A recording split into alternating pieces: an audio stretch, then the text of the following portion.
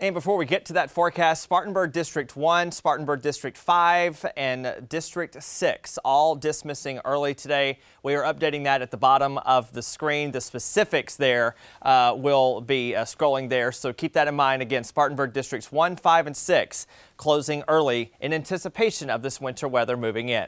Light to moderate rain mixing with a little bit of sleet in most of the upstate. No major issues so far. In the mountains, we have seen uh, Michelle earlier report some flurries on I-26 near Hendersonville, but it's really in neighboring Transylvania County near Rosman, stretching back through parts of uh, Jackson, Macon, and now Rabun counties in northeast Georgia as well as the far northern edges of Greenville, Pickens, and Oconee counties, all dealing with, again, some wintry mix and or some snow. In fact, Sky Valley, elevation a little over 3,000 feet in Rabun County, reporting a pretty good amount of snow so far.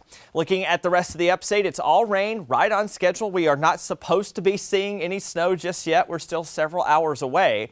But some of these heavier downpours in North Georgia start to work their way in. You could briefly see a little bit of snow or sleet mix in, but it's not going to be enough to help change that over until later on in the day when this band of really, really heavy precipitation across northern Alabama and Mississippi works its way in. So several hours away from that transition over to snow.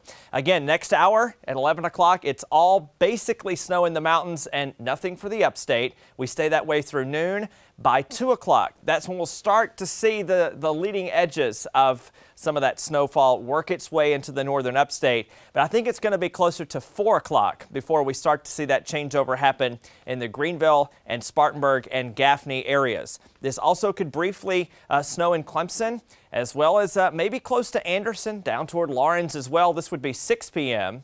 And then it's all out of here. Shortly after sunset, we're left with some flurries by this evening at 9 o'clock and by 11 o'clock. Most precip should be done as the sky begins to clear.